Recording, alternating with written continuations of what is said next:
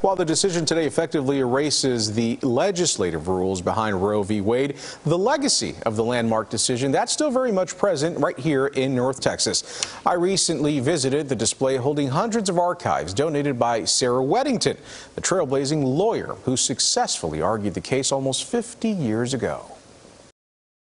Some of the things that you'll find are the opinions uh, following the uh, decision of Roe v. Wade. And so this is actually signed by seven of the Supreme Court justices.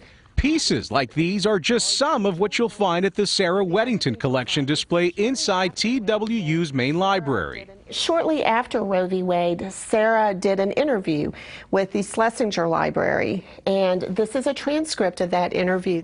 Kimberly Johnson is in charge of the work to archive all of Weddington's material, including photos from her youth. Weddington had arranged for all of this to be housed here before her death this past December.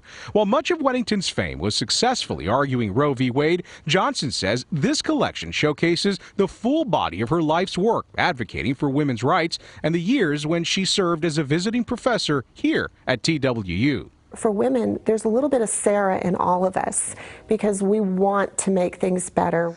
Dr. Danielle Phillips Cunningham directs the Multicultural Women's and Gender Studies here. When we first met her back in early May, we spoke about the leaked opinion from the Supreme Court at the time, and even then she anticipated Roe v. Wade would be done away with.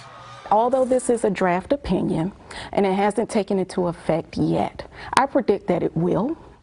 At that time, she said Roe v. Wade being overturned will also affect the value of judicial precedents moving forward. It throws everything out of whack and it really puts our democracy at stake.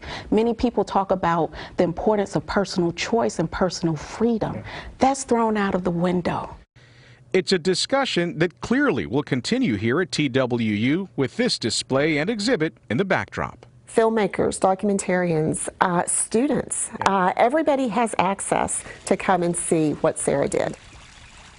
Well, of course, we're going to continue following the latest developments from this Supreme Court decision on air and online at CBSDFW.com.